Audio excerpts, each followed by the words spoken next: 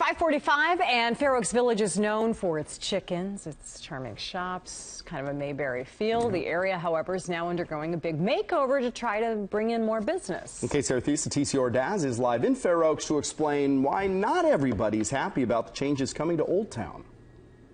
Well, good morning, Teo and Jojo. This is a half a million dollar project to make Fair Oaks Village a shopping destination. You can see construction already well underway, especially to improve these sidewalks here. But many business owners are concerned about the timing because they say it will no doubt hurt their business.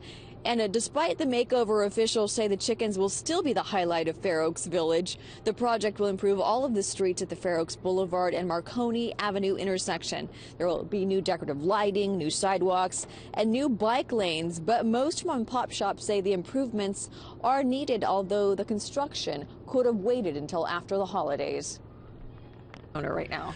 Well, my concern about the construction project right now is that the project commenced during the last quarter, which is the best season for retail stores.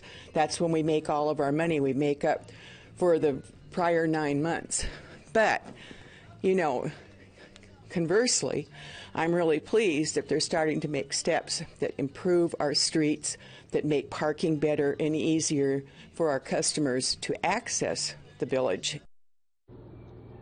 And we contacted SAC DOT, but they would not comment on the timing of the project or the business owner concerns.